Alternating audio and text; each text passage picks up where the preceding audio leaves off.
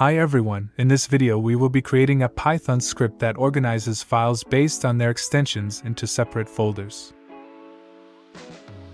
Here is an example. On running the Python script, the script will analyze the extension. Based on the extension it will create folders and move the files into the respective folders. So let's apply this concept by creating a Python file. This script utilizes the OS module to work with file paths and the shutil module to move files.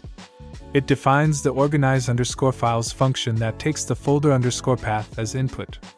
It gets all the files in the specified folder using os.listdir and filters out directories using os.path.isfile.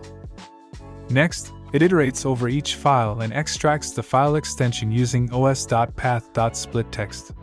It then creates a folder with the extension name by converting the extension to uppercase and appending underscore files.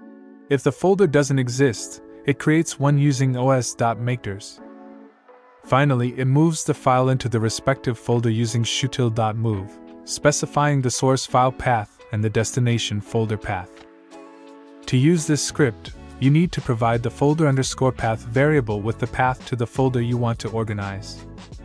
When you run the script, it will organize the files in the specified folder based on their extensions, creating separate folders for each file type and moving the files into their corresponding folders.